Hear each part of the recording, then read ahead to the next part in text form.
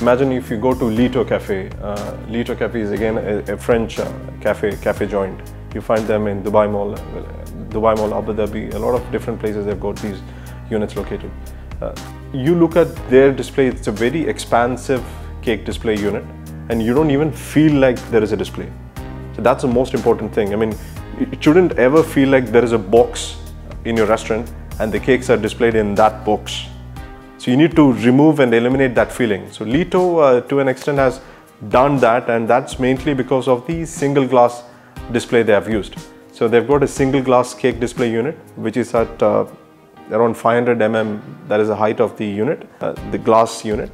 And they've got crystal uh, clear glass uh, for the display. Now you've got a choice between crystal clear glass and a clear glass. So the moment you use uh, clear glass, almost all of the glass that you see here, you see the green tint on the glass, right? I mean, if you look at the border of the glass, if you see that green tint, that is just a clear glass. If you, if you use a crystal clear glass for your display, you will not see the green tint. So it helps in display, it helps in being the display looking more frameless. It doesn't look like there is a box there. So that is the right choice. I mean, if you look at the price comparison, crystal clear glass uh, are around 50% more costly than the clear glass but in terms of the overall aesthetics part of it uh, the right choice uh, to go for would be uh, crystal. I, I, definitely recommend uh, my clients to choose crystal clear glasses for the displays.